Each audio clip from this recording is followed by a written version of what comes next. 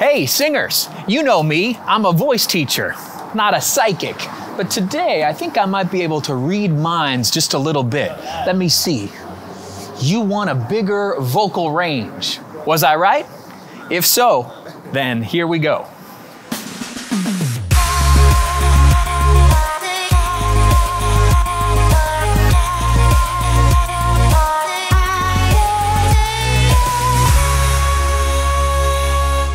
Hi, everyone. Welcome to episode 113 of Voice Lessons to the World. Today's question comes from Patrick W. in Warsaw, Poland. Patrick writes Dear Justin, I want a bigger range. Can it be now? Oh, nice question. Well, Patrick's got no time to waste, so let's get to it. With seven tips for expanding your vocal range. Starting with number one, work all the registers. It's super important to work all your vocal registers, not just the ones you like the most. In other words, spend time each day exercising your chest voice, your head voice, your mix, your flageolet, all of them. Me, me, me, me, me, me, me, me, me, me, me, me,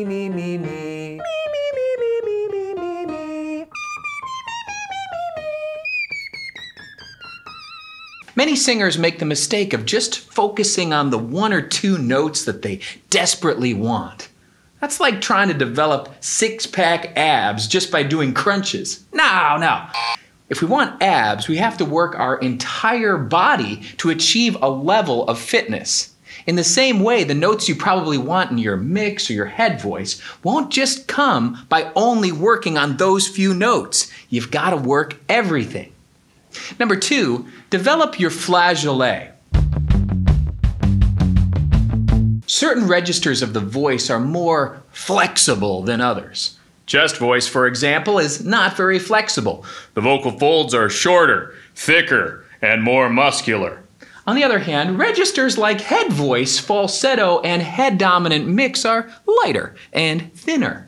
The vocal folds are free to move more quickly. But the grand champion for vocal fold flexibility is flageolet. Flageolet is like the head voice above head voice, or the falsetto above falsetto. For more on this, you can watch the brand new episode 36 of Quick Singing Tips, or you can go back to episode 89 of Voice Lessons to the World. Essentially, flageolet is your highest possible notes using the least amount of force. Sounds something like this.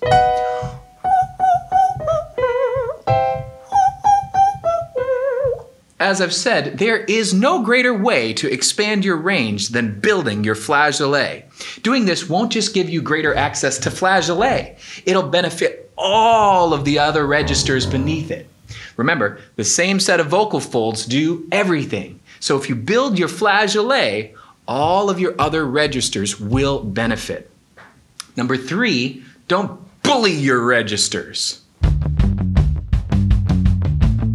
We want to make sure that we aren't pushing certain registers around too much. If you do this, you might get a couple extra notes, but in the long run, you'll end up wrecking your chances for a truly big range. Let me give you an example. When I reach a certain place in my range that doesn't want to go any higher, something like this might want to happen. May, may, may, may, may. May, may, may, may, may.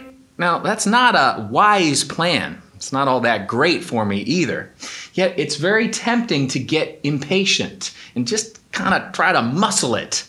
But what we really need is actually something like this. May, may, may, may, may. May, may, may, may, may. Here I'm I'm doing the opposite of bullying. I'm letting the vocal register have its preference first. Once the vocal folds are allowed to have things their way, then I can start to have my way. But not like some jerk. May, may, may, do what I say. But as a gentle encourager. May, may, may, may, may, may, may, may, may, may. May, may, may, may, may, may, may, may, may, may. May, may, may, may, may, may, may, may, may, may. Aha, there we go. By allowing my vocal folds to have what they want first, they start to give me what I want later. I'm telling you, friends, learn to talk to your vocal folds. Be nice to them. They will listen to you if you tell them what to do in a nice way. Number four, keep your volume consistent. One of the most important elements for range building is volume consistency. For example, what we want is something like this. May, may, may, may, may, may, may, may, may, may, may, may, may, may, may, may. But what we often get is something like this. May, may, may, may, may, may, may. Now, there's nothing wrong with a good old fashioned crescendo, but there is when we're talking about vocal range. One of the best ways to guarantee that your range does not grow is getting louder to achieve high notes. In fact, if you do that, not only will your range not grow, but it actually might shrink. Why? Well, remember that every note you sing requires your vocal folds to vibrate at a certain frequency. Like if I sing this note, my vocal folds vibrate around 100 times per second. May, may, may, may, may. If I sing this note, my vocal folds vibrate around 200 times per second. May, may, may, may, may. On this one, they vibrate around 400 times per second. May, may, may, may, may. And finally, this one, they vibrate around 800 times per second. Right? With all this vibrating going around, we've got to ask ourselves who's doing the job? If the breath and the volume have to push the note out, then you know that subglottic force made the vocal folds vibrate that quickly. But if the volume stays constant, then you know the vocal folds are making their proper adjustments. And over time, this leads to a bigger range. If you want a great little exercise for improving this, you can try the whisper singing exercise. That's a pretty simple concept. Basically, I'm just going to whisper the part of the phrase I'm going to sing and then go right into the phrase. Like in a may, may, may exercise, I would do something like this. May, may, may, may, may, may, may. May, may, may, may, may, may, may. Or if it's a song, I would use the lyrics. Take me into your loving arms. Take me into your loving arms. And so forth. The gentle breath pressure of that whisper prevents us from pushing. And then we just try to match that when we move over into our singing. Number five, develop larynx control. The same thing is true for your larynx as it is for your breathing. We don't want it to be a pitch changer too much. You see, the larynx loves to raise up for high notes and drop down for low notes. Some of this is okay and natural, but not too much of it. If I let my larynx run rampant, I get something like this.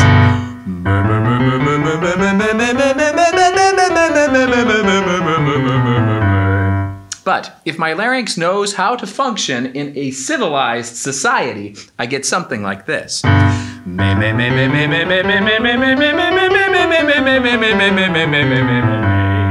Now, it's okay for the larynx to raise for style purposes. If I'm singing a pop song, I've got to have the right larynx position. I'm not going to sing, Change the world, I would be the your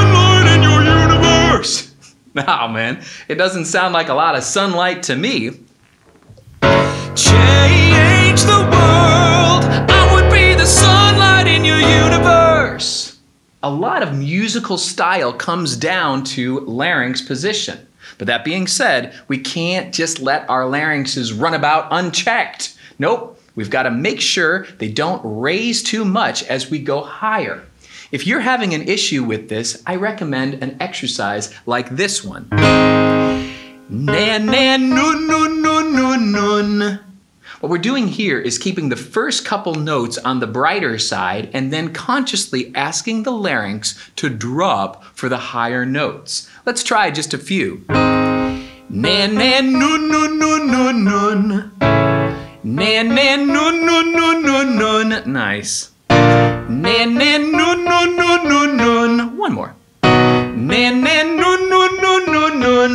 Now, this is obviously good for making sure your larynx doesn't cheat on higher notes, but make sure you don't neglect the lower notes. A lot of folks miss out on some of their low notes because things get too dark, deep larynxed, and decompressed. It's actually the very opposite of the problem that we see on high notes. If that happens to you, hit your low notes with one of these. Ah, ah, ah.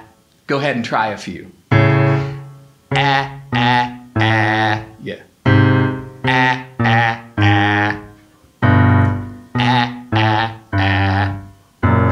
Ah, ah, ah. Right on. This will get some of those lower notes toned up in no time. Number six, break the vicious cycle. Now, maybe this goes without saying, but I'm gonna say it anyway. If you want a bigger range, you gotta put in the time and the patience. It's very common for folks to get into this vicious cycle, desperately wanting the high notes, attempting to get the high notes, straining to get the high notes, feeling terrible about the high notes, giving up on the high notes, desperately wanting the high notes. Following this path keeps you stuck.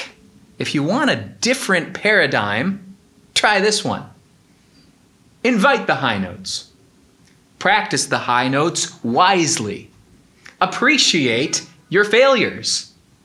Celebrate your progress. Don't give up on the high notes. Achieve the high notes.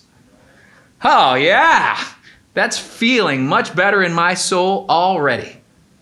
Number seven, water your lawn. As the saying goes, the grass is always greener on the other side. What does that mean? It means that it's human nature to want what we don't have. But what about what we do have? If we take a moment to think about it, there's so much to be grateful for. Do it with me.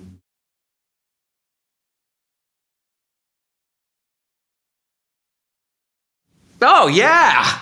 Praise God!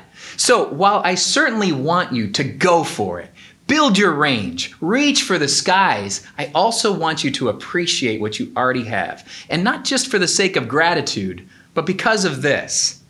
There is an endless amount of good singing that you can do with the range that you already have. Whether it's one octave or six octaves, doesn't matter.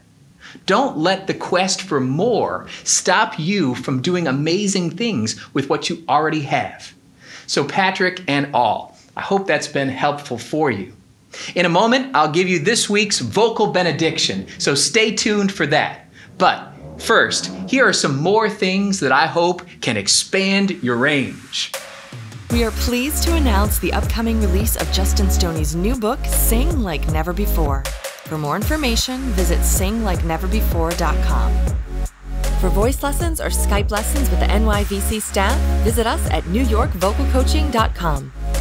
If you'd like a vocal course that you can do at home, check out the Voice Lessons to the World vocal course. This 12 part program takes you on a singing journey from beginner to master level vocal exercises. You can find it at voicelessonstotheworld.com. Or if you'd like free vocal tips sent to you each day, sign up at dailyvocaltips.com. And now, here's Justin with this week's vocal benediction. In my experience, giving thanks and having gratitude is the best first step to expanding. In other words, if we start from a place of, wow, thank you, we're in a much better place than if we start from a place of, I'm not enough, I need more. So take a moment to remember how beautiful your voice is and give thanks for it a real thanks, a soulful thanks. If you do, it's no telling what heights you'll reach.